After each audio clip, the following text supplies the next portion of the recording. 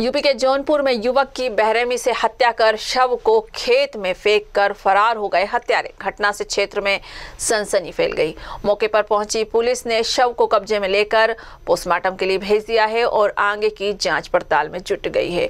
ये पूरा मामला खुठन थाना क्षेत्र के गजेंद्रपुर गाँव का है, जहाँ पर बाईस वर्षीय पुनर्वासी नामक युवक की निर्मम हत्या करके अज्ञात हत्यारों ने उसकी लाश को गाँव के शिव मंदिर के पश्चिमी छोर पर एक खाली खेत में फेंक कर गायब हो गए। जब सुबह ग्रामीणों ने देखा तो इसकी सूचना पुलिस को दी और मौके पर थाना अध्यक्ष वीरेंद्र कुमार पहुँचे और उन्होंने इस मामले में छानबीन तेज कर दी है। क्या हुआ चाचा?